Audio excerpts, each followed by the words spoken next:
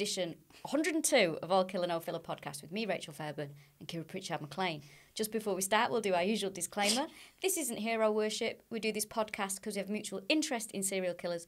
As long as we are doing this podcast, it stops us from writing to them in prison. True. Do you realise when you pointed at me, you moved your hands like a muppet, like they were both on two sticks? It turns out I am actually a, a puppet after all these So years. you've got some thin little legs, like two bits of wool hanging down. Have you ever seen Kermit's legs? It's weird. yeah, they're like very. it. he's got. He's got quite. Um, they, they're very floppy, aren't they? Yeah. My granddad uh, loved Kermit the Frog, and um, Bert and Ernie, and just record them off the TV. So he just used to have like a video of Kermit the Frog, like a because he just found him really funny. Not Miss Piggy. No, have I have I told you the story about Miss Piggy and my friend? So. No, but I can't wait to hear it. So my friend Phil Padgett, you've met Phil Yeah, yeah. He went. To, what did he went to something when he was a kid, and it was um, the Muppets were there, and Miss Piggy was there, and it was to meet Miss Piggy, and she uh, he went to meet her, and as as he walked up, he was probably about seven. She hitched her skirt up and went, "Oh!" to him, right? and he just said it was so. He was so embarrassed. Oh, I thought it was going to be a sexual awakening. Uh, no, he said he was so embarrassed it was so inappropriate. and every time he sees Miss Piggy now, he's like, there she is. And The says absolute derogatory. uh, I can't wait for Miss. Piggy to get me too'd. About she's time. terrible. I think, you know, she's she's uh, very chaotic. I'm not a big fan of Miss Piggy. I find her quite annoying at times. I like her. I think Yeah. Mm. that she's yeah. I love her chaos. I like that she's brash. Also, if you look at some of her looks through the years, absolutely incredible. Oh, yeah. I mean, she's got some good clobber, without Yeah. a doubt. What were we talking about? Serial killers. Serial killers, there we go. that was it. I would not be surprised if it turned out Kermit was on the on the old killing spree. Most likely, I was I was waiting for you to finish that and I thought she was going to say drugs, register. I was No. like, what's coming next? It's always the nice ones, isn't it? He's the Muppet most likely to murder. Do you think? Yes, absolutely. Animal? No, no, no, no, no. Fozzie Bear. He, Fozzie Bear. No, Fozzie Bear is a He would kill a sex worker by accident. Oh like Lenny of Mice and Men. A hundred. Yeah, there would be something like that, and and it'd, it'd be like, oh God, you know, like, oh, I didn't mean it, and he genuinely didn't. But unfortunately, that is not a defence. What a way to start to desecrate the memory of some of those beloved children's entertainers. Is that what you call them? Uh, children's uh, icons of childhood. I icons of childhood. The Muppets. Dis- if you've got Disney Plus, I think they put all the Muppet shows on there. I had a, I was watching. You know when you have something on in the background, usually it's The Simpsons is the go-to one. And I tell you what, the Muppets and The Simpsons have in common: hate Chinese people. and there's so much racist stuff. Really? In the Muppet, yeah, because it's the seventies. So like, ah. you know, it's there's some there's some quite spicy stuff in there. the Simpsons. Oh, The Simpsons hate trans people, Chinese people. Like the, the, all the jokes are about like trans women or Chinese people for the first 12 series, I would say. There's a lot of it, like to the point where it's incredibly jarring now. Oh no! Got look who I've got on my notebook. There we go. And that's because you hate Chinese people. It's Bart Simpson, but he's clothed on this. that is a callback to an earlier episode. yeah, if Don't you're watching this in. for the first time, that's a really weird thing to stress. Do you know? Have you noticed here in my notebook? I've got pics of, and, and this was to remind me about a joke. It actually said pics of kids, and it was just in my notebook on the train, so I had to scribble it out. It was to remind me about a joke that I was going to do.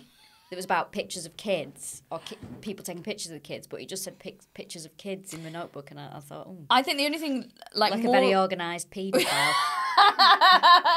the only thing more incriminating than pictures of kids written down in a notebook is the word kids scribbled out in case yeah, other well, people that see is it. yeah, that is a problem. We're going to be chatting today about um, John Reginald Halliday Christie. Yes. That's all the names. I think it's a crooked set of names there. It is known to his family as Reg Christie. Uh, he committed murders over a 10 year period uh, from 1943 to 1953. There's six murders that we know of. I think there's probably more. Yes, There's absolutely. definitely more. Uh, he usually strangled his victims after he'd made them unconscious with domestic gas. He also raped some of the victims while they were unconscious. He was born on the 8th of April 1899, which is weird because it feels not that long ago, this, but then he was born in the Victorian era. Yeah. It feels weird, doesn't it? But the Victorian era just banged on for ages anyway. He his childhood is quite an interesting one in that it's a bit unremarkable. Mm.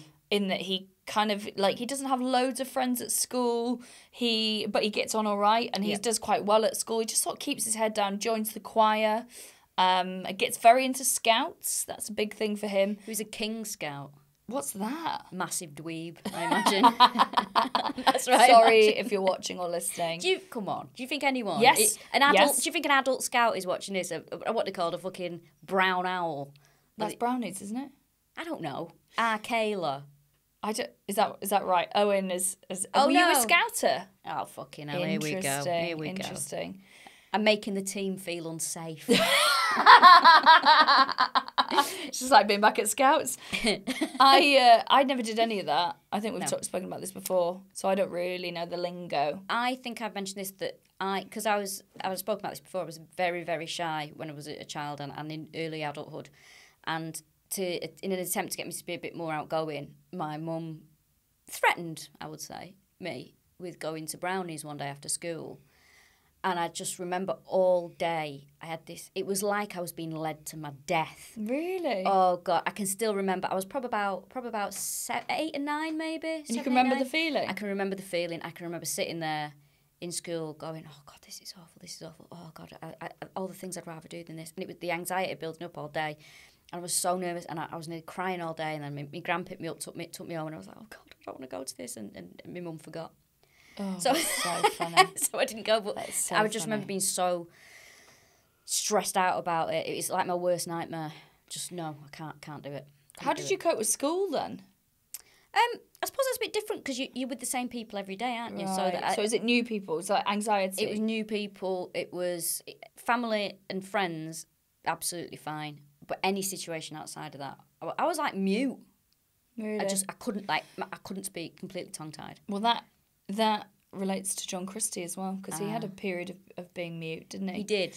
But we must say he was born in in Yorkshire, West Yorkshire, in Northowram, which is about two and a half miles from Halifax and six and a half miles from Bradford.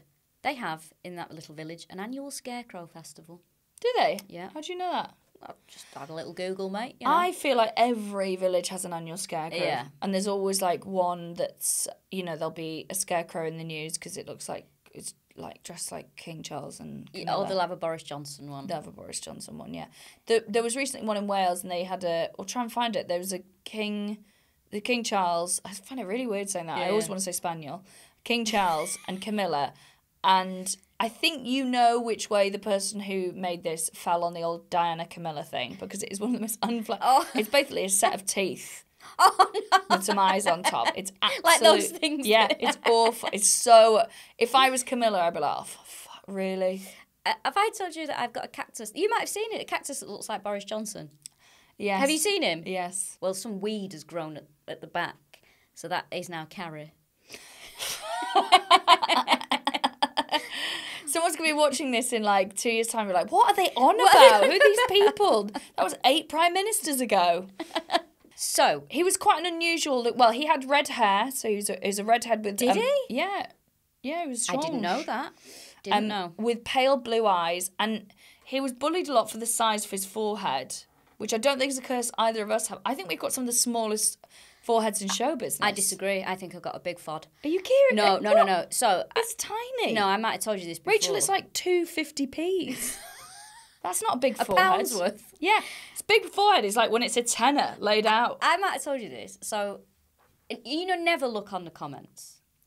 Oh, why Never. do you do it? Well, it was lockdown, and I was I was fragile as it was, and I thought maybe someone's written something nice about me, and they hadn't. Learned that lesson. And I honestly don't. To this day, I don't know why I did this. I looked at a video of me online, which and I didn't watch the video. I just went straight to the comments, and one of the comments was her features are too small for her face, and I was like, oh, that's quite rude. Need to worry about that now instead of COVID. So, but then I said to my friend James, I said, uh, anyway, so I looked at this video, and then someone had written this underneath, and he went, yeah. I went, oh, is that what you think as well? is Oh, it? Is that what everyone's Rosa. saying about me? I don't think he was listening to me, to be quite honest. This is like I used to have a bit about this, and it's absolutely true. On a night out, someone would come up and said, "Oh, you look like Nessa from Gavin and Stacey." They were like, "Oh, you Welsh," and I was like, and then I was at ninety, like, oh no, I was maybe like twenty. I was pretty like sad about that because I had this big paranoia of being like the fat girl in my group of friends, even though I wasn't fat then at all. But so it was like this whole thing, and I was telling someone about trying to reclaim it by telling it as a funny story when I worked at the Trafford Centre. And I said to the guys, "Oh, someone last night came up and said I look like one from Gavin and Stacey." And Smithy, I said, "No, not Smithy, not Smithy." The- No. yeah, absolutely true. No. Yeah, yeah, absolutely true. I used to do stand up on that. It's too sad now. I am shocked, appalled, stunned, amused. For the record, I think that both Ruth Jones and James Corden are very good looking people, but it's also at like 20 is not necessarily who you want to be compared to. Especially because the character of Nessa is designed to be unattractive. Like, she's mm. meant to be sort of like.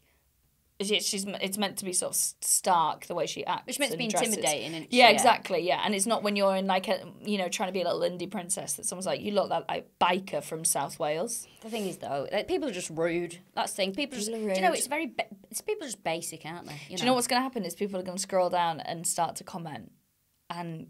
Hey, comments are it off, on this. I'm not We've interested, mate. co- Comments are off. If you're listening to this on the podcast, welcome. Obviously, if you're watching this on YouTube, we're now putting them on YouTube. We have made the executive decision to switch comments off because Mm-hmm.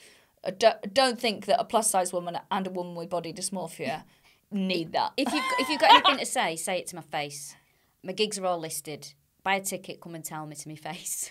You're going to regret saying that as a man continuously follows you around the country. Well, it's so funny because uh, Tim actually said to me the other week, he was like, "Oh, do you know, I do worry sometimes. You know, what if, what if somebody, you know, it's very, be very easy to, to, you know, you shouldn't tell people where you are sometimes. You know, if you mention at gigs, you say you're in uh, Gosport or wherever." And I went, "All my gigs are on the internet. yeah. If somebody wants to find me, you can find me. You will know where I am Which at is- whatever time." It's why stalking in comedy is quite common. It happens Mm. to a lot, especially it skews a lot more towards women, but there's men as well. It's happened actually quite a lot that, like say, male comedians have been stalked. I know of about Yeah. four yeah. that have.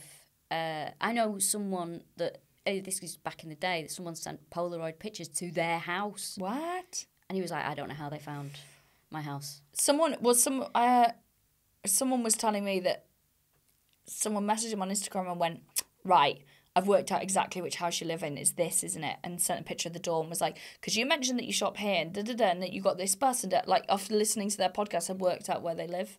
Good luck finding out where I live, guys, because people who know where I live can't find it. So. Well, the thing is, I always think as well, if you found out where I live, what are you going to do? You're going to knock on, and I'm going to tell you to fuck off. what What is going to happen? You, you, you're not going to get in. I'm never in. you, and then you get in, and, and then what? what? What are you going to do? It's like when we did that live show, and I'm like, yeah, I'm staying in this hotel. What are you going to do? You're going to get me a room? No. what, what are you going to do with that information? You need to stop handing out your room numbers at live shows, though. That is reckless what behaviour that I feel like is a red flag I'm ignoring. What are they going to do? They can't get in the hotel because they don't have a key card. You can't get in. I'm sure they could be like, I'm so sorry. My friend Rachel Fairburn is staying in this room. I my phone's dead. Can I just phone up to her? There's there's no phone in the rooms. In what you about? What hotels are you staying in? There's no phone in your room. There's, hotels don't Pay a have phones. five or more. Are you mad? They all have phones in. No, Premier Inns do not have phones in. What? They don't. Most hotels do not have phones in now at all. I stayed in one recently that did in Newcastle, and that was an old-fashioned hotel. Nah, they've all got phones in, mate. Do not write in. I don't care enough about this to have the debate. Anyway, so he got made fun of for having a large, uh, well, it was referred to as an enormous forehead. Brutal. It's brutal, isn't it? I mean, all the pictures I've seen of him is when he's lost his hair. So yeah, he's got a big forehead, but it's just because it starts further Yeah, back. yeah. Because of the, that's where his fringe it's mad 'cause I don't associate him with hair. That's the that's the other thing. I associate. I see him. I It's bald. just yeah. see him as a bald guy. and black and white as well. You can't tell if someone No. what hair color someone is.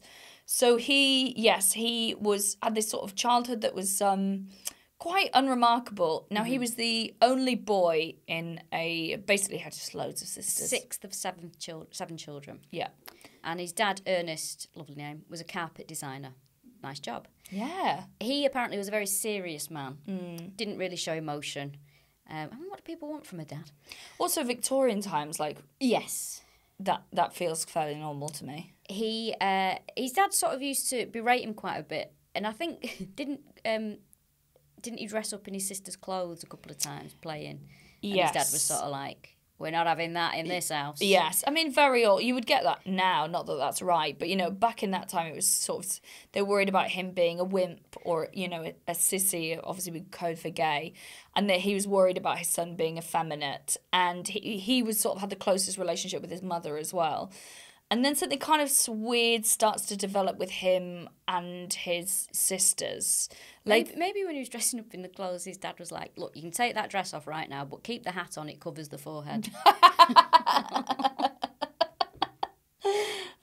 his sisters were quite. Uh, they were sort of weird. They kind of liked him, but also were quite mean to him at the same time, which I don't think is a. well, it's siblings. What it's you're quite- describing as normal, siblings. Yeah, it's normal behaviour. And also, I feel like there's a lot of pressure and a lot of emphasis put on the women Mm. in his life being responsible for his actions, which are his actions alone. Absolutely. So there's a lot of criticism of the mum for being overbearing and making him a mummy's boy, and the sisters for being sort of like mean spirited. But like, the, you got sisters, they're just gonna be mean. Well, you, you can't win, can you? As, as a when you're the mother of a, a murderer, you're either too protective oh yeah, absolutely or you don't do anything. Yeah. So whatever you do is is the reason why the person's done what they've done. Yeah. And it, it's, it's a bit more complicated than that. And he saw his uh, sister's knee when he was 10, though, didn't he? And this was. this is such a ma- every every like source talks about this is that like well two big moments. These are the two big moments in his life. One when he saw his dead granddad because he was scared of his granddad. He wasn't Yeah. scared anymore. We'll talk about that in a 2nd mm-hmm.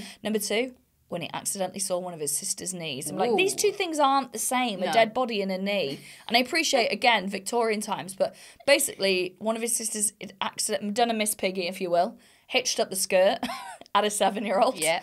and he had seen a bit of knee and he became very he was sort of fixated on this and very aroused. So that creates a lot of confusion in him a lot of anger and they, they this is where they attribute his sort of um his association with sexual desire towards women as being something that is shameful and anger inducing as well I don't know. There's a lot of credit given there to his recollection of events. Yeah, well, blaming this is the other thing, isn't it? Like, this is all, uh, you know, a lot of this is from his side.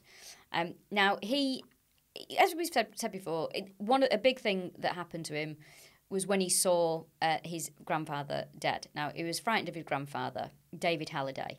He died in March 1911, age 75, and Good old age for them. not a bad age at all. And Christie saw him laid out on a trestle table. No dignity there. No. It's not a it's not a cake sale. so he's laid out, just next to a tea urn. and because he was so frightened, I'd love an urn of tea. I absolutely, lo- I love tea out of an urn. Are you serious? Yeah. Have you seen the one at my house? No. My, it was my nine's urn. Oh, It's amazing. It's like a big urn. copper one from my nine. And my brother, he's always like, I want, I want the tea urn. I want the tea urn. When mum and dad died, my brother's a, genuinely one of my brothers goes around and put post-it notes on things in my parents' house that he wants when they die. no. Yes. yes. He was like, well, it saves confusion. And I was like, yeah, and alienates a family. So he's so, the other one's like, I just I don't want anything. I just want the tea urn because I remember making tea with nine in that. It's never been used. It's never been used. He's like, I want the tea urn. I was like, it's in my house. You're asking to remove something from my house. I think we, we get let's get the urn back in action. Crack out the Let, urn. let- crack out the Make urn. some new memories with it. make some new urn memories. Um, so he sees his grandfather, and because he was so frightened of him, and then he was like, "Well, he, he can't frighten me now because he's dead. He can't do anything." I would say He- it's more frightening to see someone dead than alive. Oh, well, absolutely. I mean, I've never seen a dead body. I've no interest in seeing one. I, I, I, I just don't want. I'm not interested. Frightening. Yeah, Very final. yeah. Dim diolch. Making me feel a bit ill thinking about it. But he, uh, it's very much like um, Nilsen, as well. This. Well, I think he's a lot like BTK. It's like the opposite Oh, yeah, yeah. Nilsen. So when Dennis Nilsen saw his grandfather dead, he was very upset and Mm-hmm. he couldn't, you know, he was very small boy, he was very close to his grandfather. And then seeing him, him dead sort of, well, it terrified him and upset him. And he had, he, Mm. he ju- then he became obsessed with the fact that some, you know, the dead body because it had such Yeah. an impact on him. He's gone the opposite way and he's like, woo, spring break. He's dead. Yeah, he finds And I'm- death freeing, right? Yeah, that's it. And it's sort of taken a weight off his shoulders. It's like, he Mm. can't hurt me anymore. He can't. Uh... I mean, it, we do say, I mean, I, I, I don't know about his account a lot of the time. Well, you know, the, I'm a bit sort of suspicious about some of the stuff that he says. Well, this is what's really difficult, isn't it? That if you're working from, even when we've got like quite contemporary, accurate sources, lots of coverage in newspapers of the trial and things you can be quite sure of. But when it comes to when these people are arrested and they get to sort of tell their story, you are listening to what a psychopath Yeah. thinks has made them the way they are. Yes. And everyone, like, it's like inside the actor's studio for serial killers when they do that confession thing. So they're thinking about, like, what is my mythology? How do I do what I do?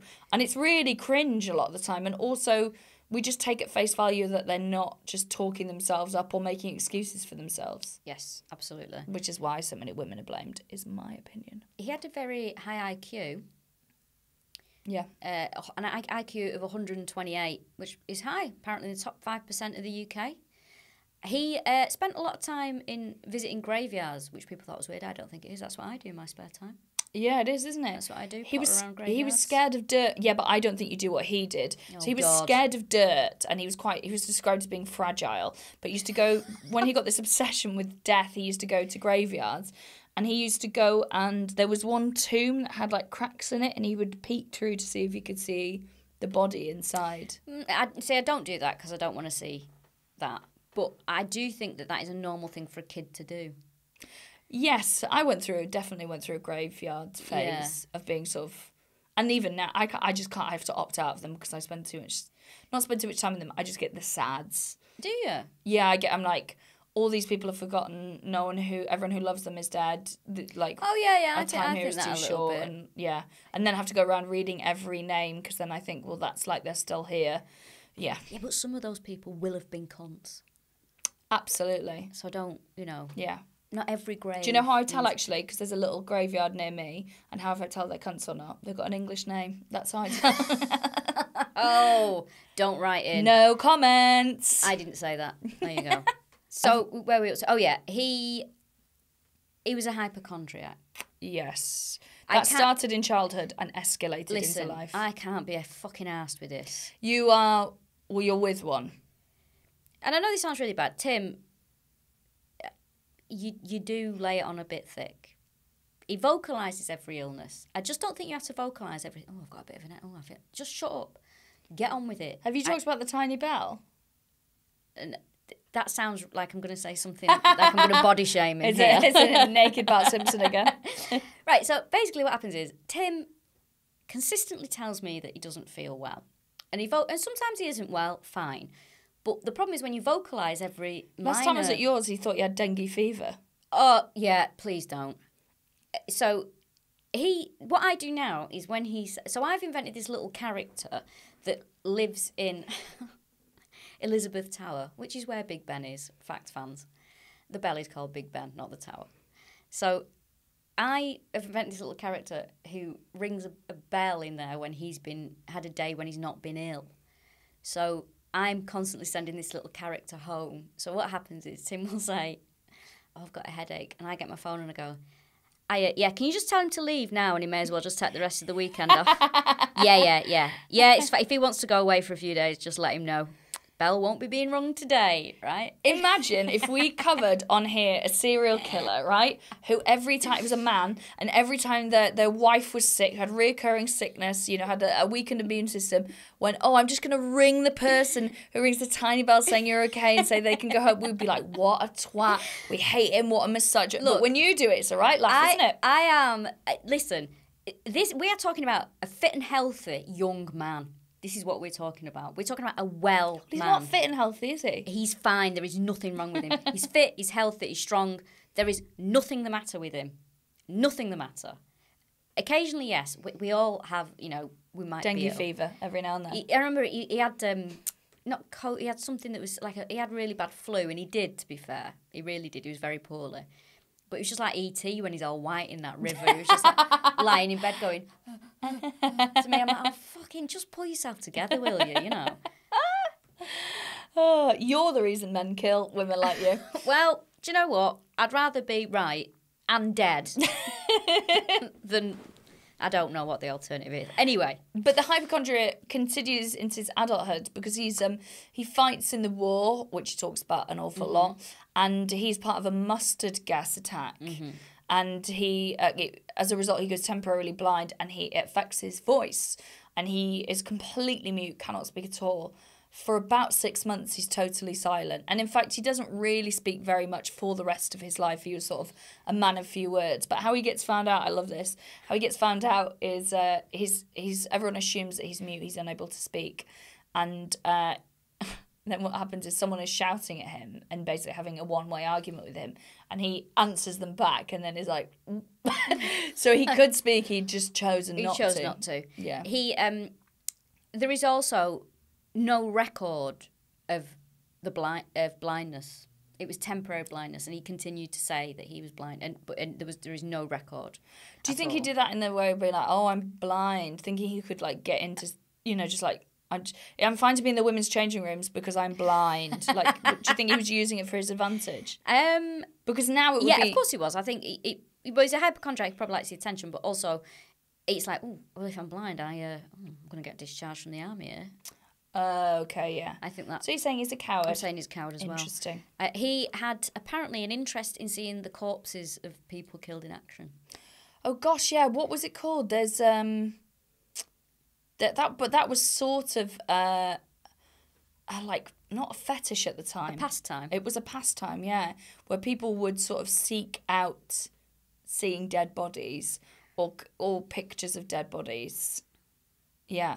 Do you know what? This is very weird. So my I don't know much about my maternal grandfather. So he's the Scottish one, the Glaswegian. I knew he's in the army. Um, and something to do with I think it's when they were establishing Israel within Palestine. Very much one of the good guys there. So he he was I know I just know he was over in Palestine. And then there's this photo album that my mum got. It was like, oh, this is my dad used to take pictures, and I'm flicking through it, and it's like it's a real sort of snapshot in time. But loads of it is dead bodies. He's just taking Ugh. pictures of like there would be like an attack or you know a battle or something, and they just it's. I was like, we can't have this. This is strange. This Oh, I don't know. I think it's war photography. I think that's all right. well, I was I went very Indiana Jones, and I was like, this belongs in a museum. Yeah, yeah, yeah. I would say so. on a coffee table. Yeah, I think that's. I think that should definitely be in a an archive somewhere. If you would like doubt. pictures of dead people in the Middle East, I'm your And, girl. and was he? Was your granddad dead before you were born? yes, yeah. Okay. He died when my brothers were small. Yeah, Oh, never met him. that's sad, isn't it? It is very sad. That's what happens if you leave a big, eh, leave it late to have children and leave a big gap between them. In the past, My, now uh, it's fine. Speaking of graves, actually, my uh, dad and mum took my niece and my nephews to Wales, South Wales, where my dad's from, and they had a bit of a mooch around sort of where he's from and all that kind of stuff a few weeks ago. And I, I was actually thinking because I've, I've never been I've never I went to my grand grandfather's funeral in Wales didn't to grandma's because I was too little, but I uh, they sent me a picture of, of the, the graveyard and, and the, the grave and I, at first I, did, I didn't know what it was because I didn't know that that's what they were doing and I just this grave popped up and it just said Fairburn at the top and I went what the hell is this and I was like I looked at it I was like oh my god it's like right there it is fine right but uh, it just really shocked me because I didn't expect to Where see are they it. from? Llanderby in South Wales. Oh, So they're in the, the churchyard there, uh, buried with their daughter, Philippa, who died as a child. Is that where you get That's your where my middle from? name comes from. That I uh, spell incorrectly pretty much every time I write it. What? Oh, uh, too, too I many. don't know if it's two L's, two P's. I ain't got a clue. I, I don't know. I don't know. I don't write that often. Just though. also when you say just go, oh, I spell it the Welsh way. there we go. So he uh, he meets a woman called Ethel. Now, Now, hang on. No dick. oh yes, oh yeah. He also w- says he was scarred by uh, early sexual encounters. Isn't everyone? You're not different. Yeah, they're not vintage, are they? Yeah. When you look back. Apparently, Oh God, what a capable person doing that to me. him and his uh, group of male friends went out one evening to meet these girls, and he he was, about, he was about fifteen at this point. point, and they all sort of paired off with these girls and were, were snogging and doing whatever it is that they did in those days. I think the same thing that we do now. I don't think I don't think the techniques have changed. I just I, I imagine Maybe you don't sing the national anthem when you're doing it. I think that's the only difference. I just imagine a lot of tweed. That's what I imagine. Tw- on children. Uh, Well, yeah, you young girls because they dressed sort of older then, didn't they? Yeah, but not that old. I don't know. I don't know. Just old fashioned, isn't it? Anyway, age 15. He gets off with this girl and he couldn't get an erection. And she told everybody apparently, and people gave him nicknames like Reggie No Dick and Can't Do It Christie. They're mean. It is mean, yeah. That's but- mean. And that is the kind of thing that would stay with you forever. Yeah, yeah, but you, you, you can move on from that. Also, I mean, that's interesting, isn't it? Because I think that must have been a good looking girl and or thin. Because if I, as a as a fat woman, right? If a, if yeah, because like as a fat woman, if I, it's happened the other day. Someone sat on a chair and it broke, and I was thinking they're lucky they're thin because if it was because it's just a breaking chair when you're a thin person, but if you're a fat person, everyone's like that person just broke a chair. And it's Yeah, the same yeah, with like yeah. if I was get like a teenager and was fat and was getting off with someone and they couldn't get up, it would be Right. because of me. It wouldn't be It because of wouldn't- them. So okay. I can tell from that. Look at that. Is that his- historical analysis? I can tell that that was a thin and or attractive woman. Oh, I enjoyed that. That was a very nice. Uh, Foray into my insecurities. it, they, were- listen, now the thing is as well, they did say that after Christie's death, they did the post mortem and they revealed that his genitals were normal. oh, don't put that on the list. You don't need to know. Uh, Yeah, just because in just because in year eight he was called no dick, we did have a little check there, and it is normal. You don't need to root around everything. Rooting Just leave it be. and a corpse's bits. Yeah, and also just like around. defending the honour of his erection. Like, there's no need for that. so Are we going to talk about Ethel? Ethel, yeah. So we must say it was it was demob- demobbed. That's what they're saying it because I can't say demobilized. Demobilized on the twenty second of October, nineteen nineteen. That's my sister's birthday, not the year. uh, he joined the Air Force in nineteen twenty three, but he was discharged on the fifteenth of August, nineteen twenty four. Uh, probably for being ill.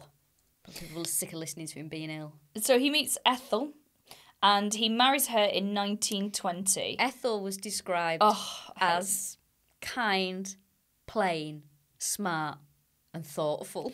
strap in. I've got different descriptions for her. Oh God, go on. Submissive, big boned. Why those two? Why those two? Submissive and big boned. Are you absolutely kidding me? What's she like? Submissive and big boned. It reminds me of, do you know one um, Count Duckula? Oh, Nanny. nanny, yeah, yeah, yeah. Ducky Boos. Submissive and big bone. What an absolute one-two, co- a left-right combination of things you don't want to be described as as a, Terrible. as a young woman. kind, plain, smart, thoughtful, big boned, Submissive. submissive. really mean. Fucking hell. No, so they married, but he didn't treat her very well. No. He he would frequently he would he frequent sex workers, Mm-hmm. and he'd cheat on her all the time. And they did separate actually after ten years because he accused her of being unfaithful, which Yes. by that point she may have been, but it was certainly him that started it. They did say that th- there was gossip that, that he was quite violent towards her. Yeah. And that she only stayed with him through fear. But they also said that she did tease him about his impotence. And uh, they they they lived together. They worked at um, Ethel worked at Garside Engineering and uh, the English Electrical Company in Bradford. So they're still in Yorkshire at this point. Um, Ethel had a, a miscarriage early in the marriage. Um, and they didn't have any children. They separated after four years, and Christie moves to London, and Ethel moved to Sheffield. Oh yes, yeah. I thought they were together longer than that. Yeah, so she moved to Sheffield, and she's getting on well there, and she's having quite a ni- nice life. But he wants her back, and makes sort of a bid for it. It's a, it's a, it's a clearly like not a good relationship. There's a lot of this going on at the time though, where people get married and actually would just separate but still stay married. Well, they spend a lot of time apart. So they're apart for a decade. Yeah. And he's in and out of prison in London, for which which we'll get to in a bit. Uh, in the interim of this, you do know that he was a keen photographer, don't you? Oh really? And he had a studio where he'd take women to. oh, Right, like Rodney Alcala. Oh really? Yeah, He's a little bit of lots of people. yeah, this he guy. is. Yeah, he is. Uh, God. Let me change. Ta- Taylor's oldest time that is convincing women that they can be models, so you can take pictures Yeah. of them for your own personal gains. He had uh, several convictions, se- Mm. several convictions for several offences. Uh, while working as a postman in 1921, he stole postal orders and received three months in a- uh, HMP Manchester. Is he in Strangeways? Yeah. You can you can see that from where we are now. Have you? Uh, I once was doing what was it? What was I doing? Something at work, and there was Americans in the uh, tour thing, and I was talking about something, and I said uh, in Strangeways prison, and they said, and then after it they said, uh, uh, that was it. It was hanged in strange ways. Mm. Uh, can, can I ask a question? What strange ways were they hanged? I'm like, my oh, no, God, the prison's so called Strange. Ways. They were hanged in strange ways, just by the ears. That's so funny. Um, yeah, I guess it's. Well, Strangeways the area? Yeah, Strangeways is that's where my my mum's from. Strangeways. Oh, so it's a district. It's the district. Yeah, yeah. But you, I don't hear of anything called that anywhere. It's Cheetham Hill. Cheetham Hill Strangeways. Yeah. Is it? Yeah, yeah. So my, my, my family, my mum's family are from Strangeways and Cheetham Hill. Yeah. Wow. So that's the area, Strangeways Prison. I think um, I uh, my mum, the school my mum used to go to, the school playground, you could see Strangeways from. The um, Strangeways is a prison, by the way. That's what that's what we're talking about. Strangeways here we come a Smiths album. Did they did they wave at the prisoners on the roof? I think that well, do you know I saw the riots? So I was at I think I was at junior school. So Strangeways riots in the nineties, all the prisoners got out onto the roof kicking off about conditions in the prison. Which were appalling. It still is, to be honest. It's a it's it's it needs Nice that you keep checking in. well, it's well, it's a very uh, old building and it, it's pretty grim. Uh, so the- all the prisoners got on the roof and they were protesting about the conditions in there. And we were going to. It was like a school trip to somewhere. But before we went wherever we were going, the coach driver stopped us off at, at Strangeways so we could see the prisoners on the roof. What? Yeah, and we all like waved at them. Yeah, so we saw, we saw Solidarity. Yeah, we saw them on the roof.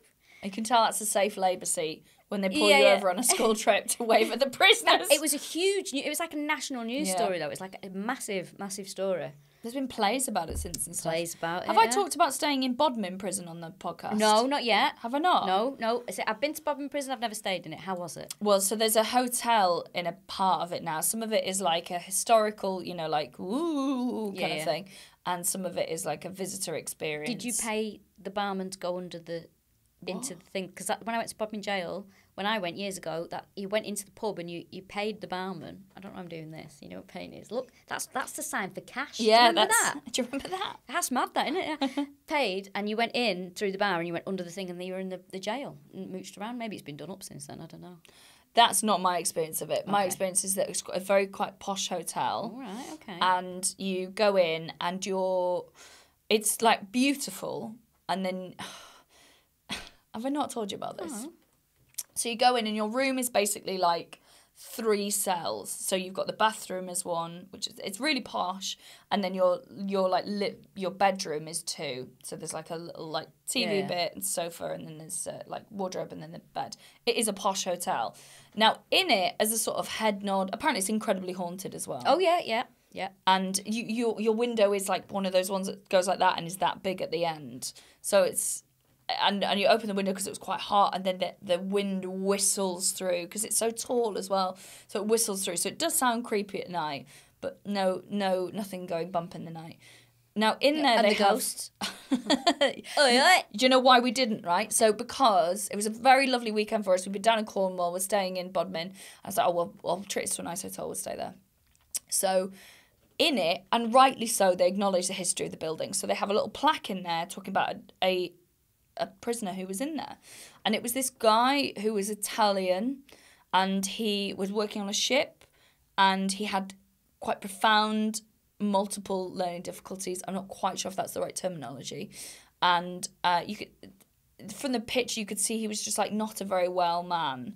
And basically they were teasing him, teasing him, teasing him on this ship and then started beating him up and he fought back and he killed a guy and then he got thrown in prison and he didn't really understand what was going on. He didn't speak the language and then he was executed. So we just get into this room, we're like, oh, they're reading that. and, then, and then they were like, oh, that's, that's really shit in it. That's really sad. Like, I wanted to be in a room where like a guy had killed his wife and been Yeah, killed yeah, for yeah, it. And then later on, I was like, I was like, I had a bath and then I was like in bed with my partner. I was like, how you feeling, darling? And he's like, just can't stop thinking about that guy and how scared he would have been and how horrible his last moments were and how we're now in like this posh hotel. And I was like, yeah, me too. and it was like, we don't get to have, this is quite like, uh, but we don't have sex as much as you want to because there's always people at our fucking houses because we both work away. So it was like, oh, we're going to stay in a hotel. And so it was like reading that plaque and then being like, no night. Just like sleeping on opposite sides of the bed. So if you want to have like a sexy weekend away, don't go and stay in a Ask jail. for the bestiality suite. don't don't ask for that one. I genuinely, if it was on the ship, it was like someone who fucked a sheep. I'd be like, great, plow in, mate. Did you- But when it's something like that, when it's like so, and it signs off with nowadays he would have, it basically says he would have been found to have learning difficulties and would have been Oh, protected. fucking hell. Come on. Is that the one person you want to pick for that cell? Well, like this is it, isn't it? That I think that like, but you can't go. Excuse me, can you have a less sad plaque in the cell, please? I actually don't like hearing about reality. Anyway, what are we talking about? Oh yes, so he pretended that he was. No, we moved past that. We're talking about Ethel now and the marriage. Ethel. In 1943, he joins the police reserve, mm. Um, which he absolutely buzzes off. He loves the sort of being able to enforce rules. He had a nickname, didn't he? And this is the thing that reminds me of BTK.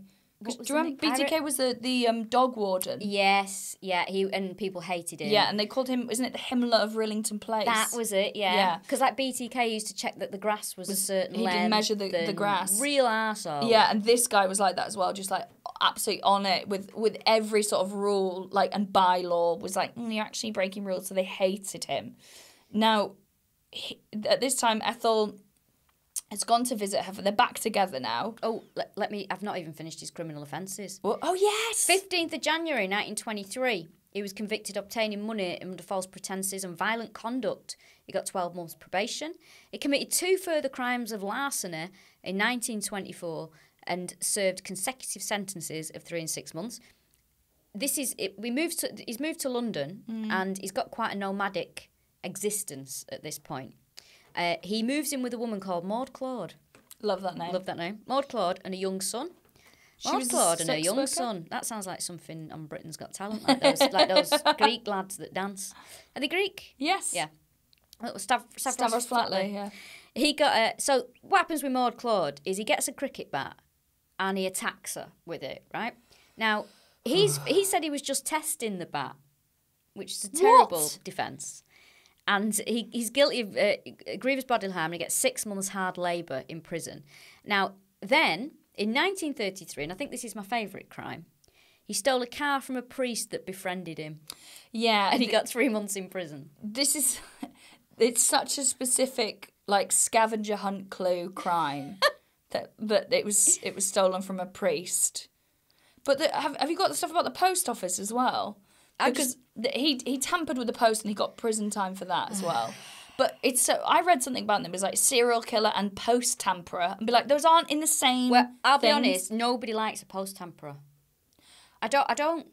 You know, postmen used to nick money out of cards. It's the fucking lowest of the low. That Yeah, but that, that's why it's like really heavily penalised as a crime. in a rightly so. I, it's such a weird thing for you Rightly to so. draw the line no, I here. think it's fucking nosy and it's sneaky. And I think when people are waiting for stuff in the post, you, you're making a mockery of, of, of a public of a system that, that serves a lot of people. I think people also lie about how uh, about post going long all the time. I think they're like, oh, the post.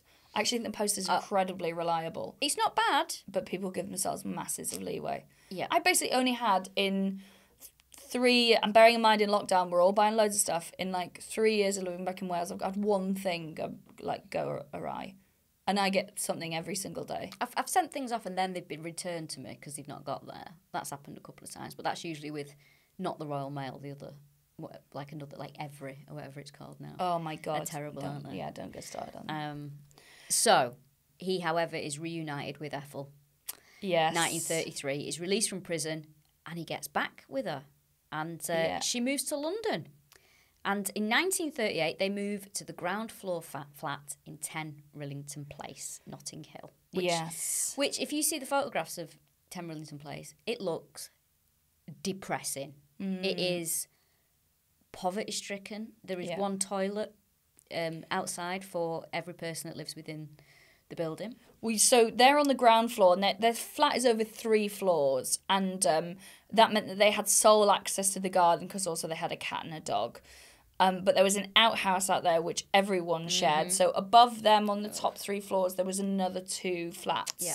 Um, it was the end of the row, and it was sort of against a factory wall. Rillington Place is now known as what's the new name of it? It's called Ruston Place. So it does still exist, but it's it's had a rebrand. Very much so. Um, Um, also, the, the there was an there's an above ground section of the underground that was nearby, and at the time, the sound of the trains was deafening. Yeah. apparently. It Also- ju- just sounds a horrible place to live. Yeah, the factory, there was dirt, there was smoke, every surface, every you couldn't really have the windows open because so much smoke would come inside.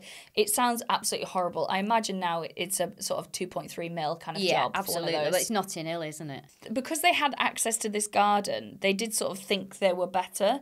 They kept themselves to themselves. They didn't really talk to the people. Ethel, yeah, Ethel and Christie were like we're we're the moneyed ones, even though they're all shitting in the same place. Yes. Oh, there was also a washroom, but that was frequently broken. But that was a communal space as well because the washroom comes back again. Yes, it does. Um, so while Ethel was away visiting a family in Sheffield, Mm-hmm. he used to use the flat for having sex with other women. Yes. Um, he also had a job at the cinema as a foreman. And uh, as we've said, he, he joined the War Reserve Police. Mm-hmm. And the reason he was allowed to join that was because nobody checked his criminal records. Yeah. And um, yeah, he, did- he did that. He um, Have I told you my? I've maybe I've told this when we've done this as a live show, but I think working in a cinema would be like one of the dream jobs, and it's something that my fella used to do. He used to work in a cinema. I know you're going to tell me a story, but you've just reminded me. Did I ever tell you about the time that on my birthday I went to the cinema to see the film about just the craze with Tom Hardy? This was what I was doing on Legend. birthday. Legend, that's it. And I went, and they wouldn't serve me ice cream because it was too cold. What? Yeah. So I went, "Is this a joke?" And they said, "No, the ice cream's too cold. We can't serve it." yet." And I just went, "Can you get me the manager? I'm going to another cinema. I just can't cope with this." Then I went to another. Uh, then I went to another cinema, and I said, two tickets for for this." Oh, there's there's no seats left, and I went, "Well, there's there's two chairs there." As he showed me the screen, they're for emergencies. And I said, "What kind of emergency are you anticipating?" well, someone's chair could break. And I went, Does that has that happened before? And he went, Well, you know, might happen today. And I went, Can you just sell me the seats? He went, No, they're for emergencies. And I, I lost the argument because I said you're a fucking nerd and walked out. but how it, it's my birthday. I just want ice cream. Were you wearing a big badge? No. Well, that's why you got shitty treatment. If you were wearing a big badge, you'd have had ice cream brought to your seat. It was too fucking cold. Someone will write in and say, "Well, actually, I think you'll find that um, No, they won't. you- We've made it very hard to contact us. Yeah, actually, I think you'll find that but due to bacterial temperatures, it can't be served too cold, actually. So mm, Who is this imaginary person you're having a fight with? it's a nerd. That's what it is. You love that word, don't you? Yeah, I love the word nerd. So my fellow was working at a cinema when he was younger, Yes. and um, it was at the time when Brokeback Mountain. I've definitely told you Oh, this before. Brokeback Mountain was on. I might have said this before on the podcast. Apologies if I have. Brokeback Mountain was on, and this very old man comes in and says, "There's not. It's a small cinema, so there's not many cin- sh- films showing." He says, "Please, may I have one ticket to Breakdance Martin?" Which is obviously they knew what he was Oh, getting, so they oh. gave him a ticket for it. oh, don't. But what was he expecting? And what did he end up seeing? Oh. Do you know what I mean? He's like, breakdance Martin sounds like a, a plucky young oh. dancer. I used to dance. Oh, and then he's watching Heath Ledger fill in Jake Gyllenhaal. Oh. Or maybe it's a perfect cover. He's like, I'm going to tell them I think it's breakdance Martin and then I'm going to have a tug in the back row. Or, or maybe afterwards he's like, well, if that's breakdancing, I'll find some classes near me. I've been wasting my time with uh, with swing dancing. I thought that overpromised. oh, bless him. Don't know why it sounds like Toby Haydock. he was a right, like John Christie was like a- just a knob. So he had all these jobs going on. He was for someone who's very bright. He couldn't really stick at a job, and w- it was kind of flaky, and would get fired because he was dishonest and a thief. Well, also he's having affairs. He worked at um, Harrow Road, the police station, and he meets a woman called Gladys Jones, and he starts Mm. Yeah. Having a good, good Welsh name. Starts having an affair with her, uh, which lasted until around mid 1943. Her husband finds out. He comes back from the war, yeah. and uh, he, he he batters him. He batters him, yeah, and throws him out because he just moved in, going, "That's fine. He's he's probably going to die in the war." And there's me being like, there's him being like, "I can't see," and so he thinks he's going to be fine, and then I quite like that he gets beaten up. have, I, have I told you that I've started watching Good Night Sweetheart and I can't stop watching it? Isn't that someone explain like when you step back from it? Is it George Fouracres who was going? This is he was watching it Yeah. recently, brilliant comment, and he was like, "This is basically about a man Yeah. who's gaslighting two women in different it's, periods." It's mad, yeah. Like, I'm obsessed with it. I, I, I remember watching it when I was younger and I don't remember much about it. And I just put it on the other day and I'm like, I'm gripped by it because uh, Gary Sparrow, the, the main character, is horrible. He's a liar. He's a cheat. He is manipulative. He's he expects everyone to, to do everything for him. At one point, he fakes his own death. He's horrible. But And he's also meant to be a, s- a f- sympathetic f- figure. You're like, Yeah, you're meant to God, feel look at sorry him for him." juggling all this. yeah, and but I, I'm addicted to it. I can't stop watching Really? it. I cannot. How many stop watching series it. is it? I think there's about seven. You know, I'm up to three. Seven. I think there's seven. Yeah. How can that be longer than the war? Well, let's just see what happens. You know, I can't remember. what, I can't remember what happens. But uh, also, he's a coward. Oh my god. Anyway, You would have been handing out those white feathers like no one's business.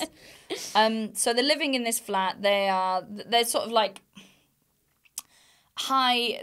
They, they have quite a, lot of status in comparison to everyone else, but they are living in an area that I don't know if this is a problematic word, but was a slum area at Yes. the time. Now it's incredibly posh.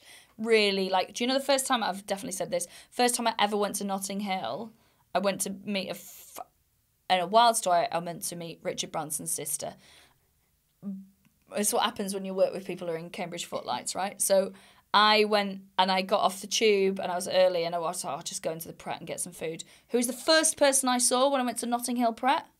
Richard Curtis. no. I went, oh, fuck off, and just walked out. really? Yeah. I was like, no, I don't need this. I mean, It's- great, like, love comic relief and all that, but I was like, just try not to be so on the nose, London. It's, it's not my. It's not my bag round there. I, I've been to Notting Hill. I've got um. I bought a bag with the cat in the hat on it.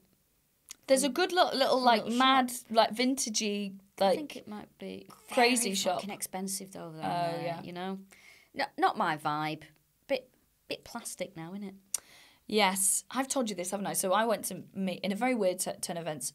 Lovely, Vanessa Branson, Richard's sister, and uh, she's sort of we were chatting about something. He's the guy that makes the pickle, right? He's the guy who makes the pickle. That's it. Yeah.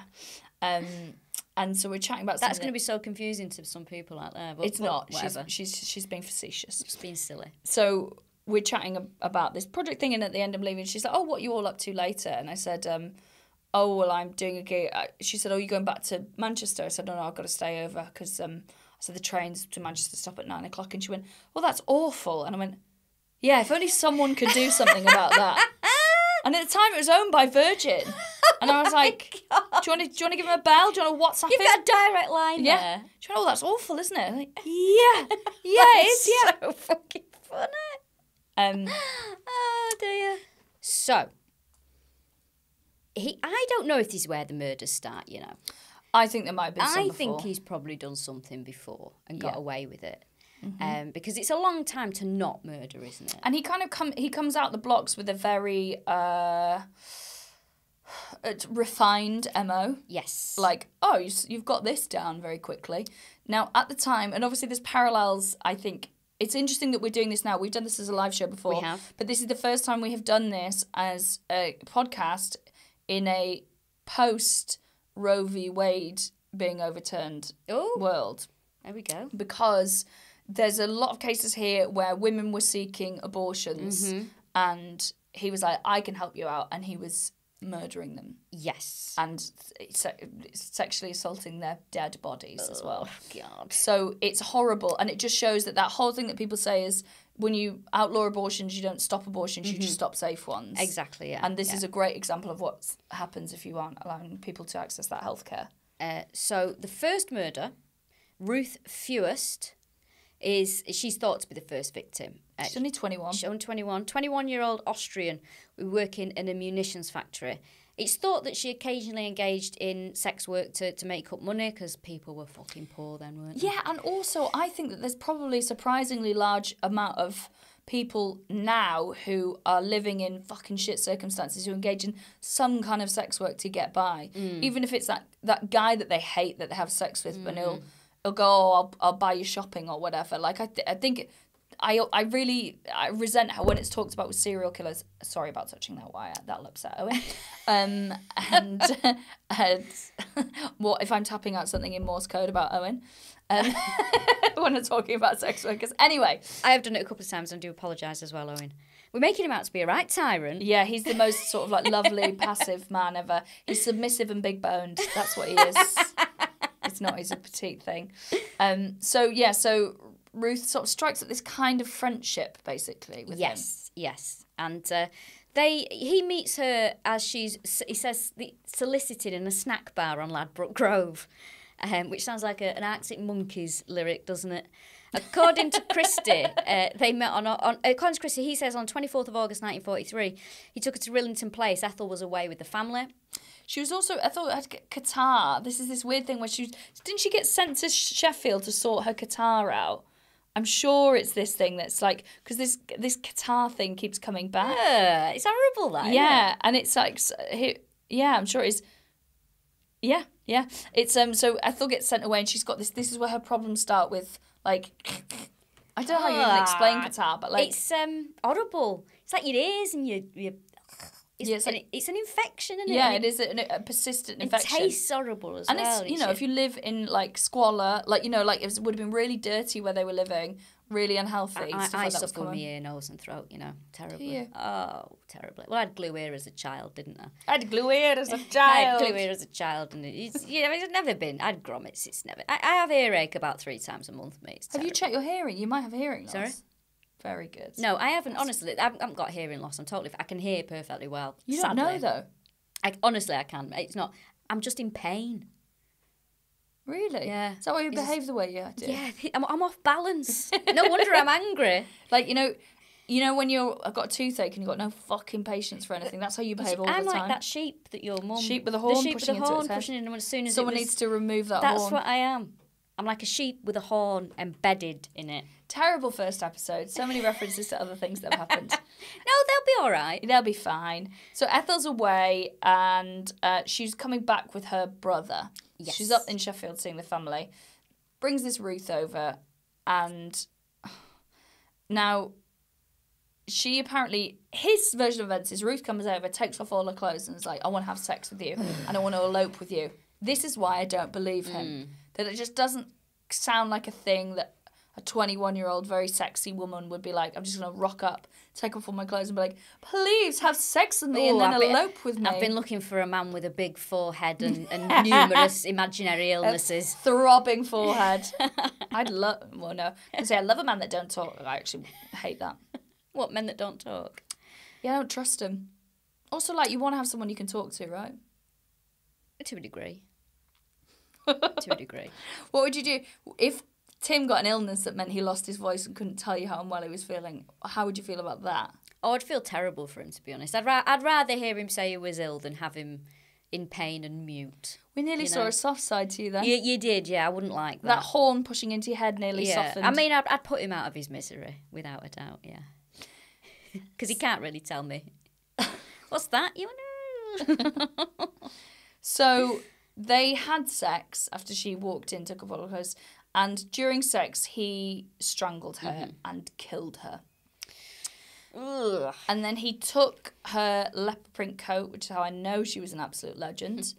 and he wrapped up the body and then he placed it under the floorboards. Very Dennis Nilsen. Very Nilsen. And also, is Muswell Hill? Muswell Hill's North London, isn't it? Uh, I think Hill- Notting Hill's south, West London. West it is. Yeah, you're Yeah. right. So he puts her on the floorboards. Now, apparently, he says that he was he was shocked by the bodily fluids. What does that mean? Well, obviously, you're there for a few days. You're dead. There's there's bodily fluids that come out, Oh, Yeah. uh, seepage, if you will. And uh, he was like, "Oh, I don't like that." Well, sorry, mate. Yeah. Tough tits. I guess don't kill people. Absolutely. So he- Ethel and her brother arrive back at the flat pretty much the next day. Yeah. And everything's normal when they speak to them about it. Like everything's absolutely fine. Um, and Ethel has just got a part time job, so she just goes off to do Yeah. that. It's like nothing was any different. He was acting exactly the same. Mm-hmm. So while she's out at work, Christie takes Ruth's body and he takes it from the house and he goes and puts it in the wash house. That's a, that communal space, but because the whatever they used in there, the early form of washing machines, those things, right? Mm-hmm. Uh, What do you mean? Stiff sheets. A mangle. Uh, no, because a mangle's one of What them, mangle's innit? one of them. What's this? Do you know what I mean? It's like I got a big. The dolly. What? It's a dolly. Is it a dolly? Yeah, yeah, yeah. A washing dolly. You, What's that it's mean? the stick, and it's got things at the side. So I think it's almost like a thing that churns butter. So it's like a stick that yes. goes like that. It- um, let me check. Let me check. You think it's called a dolly? Well, I can tell from how far you're f- holding your phone away. You need to have your eyes checked. So get your ears done at the same time. Is it a dolly? Show me. Oh yeah, Nan kid. nan kid. so yes, he goes the whatever it was the in the wash house. The dolly The dolly was frequently broken, so people didn't use it as much as they should. Um, so he was like, right, I'm just going to store the body in there. Also, it's cold outside. Ugh. He was very into his gardening as well, very proud of his garden. So the fact that he would be digging out there wasn't seen to be unusual because he was always pissing about in there. So he, he digs up the garden. Uh, she's stored in the wash house. He has a brew.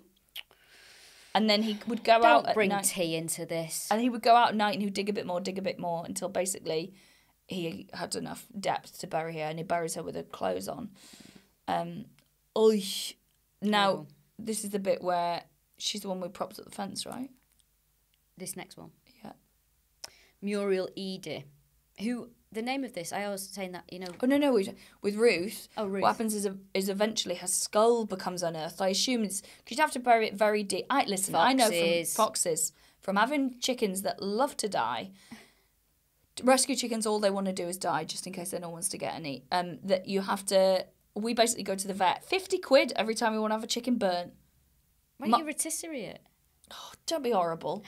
I'm not going to be like, oh, I'm vegan, except for when an animal dies of natural causes in my own care, because I refuse to eat my dog because he tastes horrible. Oh.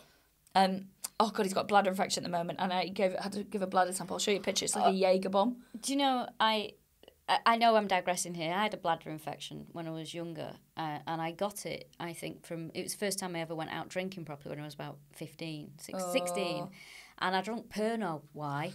Because I didn't really know anything about booze. And uh, I- was really, really poorly, and I had a, I had a, bladder infection. And it, it was, hand, it's hands down the most uh, terrifying thing that I've ever, like, I was sh- shivering, Yeah, weeing blood, yeah, just in so much pain. and it's not blood in what eat; it's, It's blood. blood. Yeah, yeah. It's horrible. It's so frightening. Yeah. Well, anyway, he's on medication. Don't worry about that. Why was I talking about this? Chicken, right? Right. Because basically everywhere's like you can't bury it deep enough so a fox won't get it. So there's no way. Even if he's going out at night, he's having these bruises. He can't bury this poor woman as deep as it needs to. Yeah, yeah. That's why it has to be like six feet. So her skull becomes uncovered because foxes dig it up, and so he burns it in the rubbish. It's horrible. Muriel Eady is the second uh, victim that we know of. Uh, he so he uh, resigns as a uh, special constable after murdering Ruth. No, he gets sacked because Does the he? war he ends, and they don't. They don't know. They get sacked because again, he gets sacked. The war ends, and they don't need a police reserve Oh, okay. because he was basically resigned. like a PCSO. So he was like the dad's army, but for police. And they're like, we don't need you anymore. well, he goes to work at a radio factory in Acton, and Mm-hmm. this is where he meets Muriel Amelia Eady. Now he told her he could. She had bronchitis, and he says, "Oh, I can cure that with a special mixture." I hate the word mixture. Really? I don't know. Just it makes me. Uh, it makes me think Another of, one. Yeah, I, it just a mixture. Just don't like the word. Like Is dolly mixtures. I don't, I don't like Is it because you think of myxomatosis? I think it's because I think of myxomatosis. Yeah, I think that's definitely it. Um, so he um he says, "Oh, come to round, come round to my house, and I'll I'll cure this bronchitis of yours." And uh, which really dates this as a chat up line, doesn't Yeah. it? Yeah, they meet in the canteen, which is quite a nice way to meet someone. I love a canteen. Do you? Oh, What you yes. go to in a canteen? It depends what there is. When I worked at Kendals in Manchester, they had a canteen upstairs, and uh, the, you know, they had like you know chicken chasseur. That was a popular. Hello. thing, yeah, with chips. Uh, everything with chips. I, I don't know. What would I, I just? Do you know I like? A nice. You, you know me. I like a baked potato. I was going to say you were going to go baked potato, cheese, beans, Anything on a steaming bain marie for you, isn't it? yummo. Yummo! Thank you. Yummo! Yeah. Oh my god. Yummo! Absolutely vile. That's made me feel sick. Yummo, mate. Yummo. Now, um, Muriel, like they got on well, but she was living with her aunt at the time. She had a boyfriend, but she got on well with him. Now they decided they were going to go out to the pictures together. But this is while again he just plans it always when Ethel is away. In fact, he uses the phrase "I planned it all very carefully," which shows premeditation as well. Um, so yeah, October nineteen forty four, she goes to Sheffield, and he says, "I can fix your guitar." Oh, Yes. oh, Mr. Darcy. now, what he'd done is he'd made this mask that would go over um, Muriel's face, and he pops the the gas over, and it was it was a coal It, gas. it was. Uh, it says here. So the mixture he made her inhale from a jar with a tube at the top. The mixture was Friar's balsam, that was it, which was a cure for things Yeah. and was a cure for catarrh. uh, which was uh, and the, uh, which was a pungent solution of benzoin resin in Mm-hmm. ethanol.